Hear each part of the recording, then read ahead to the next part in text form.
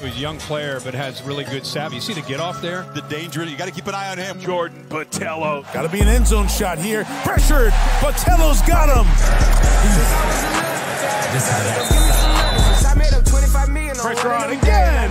And Lavatai is sacked this time by Jordan Botelho.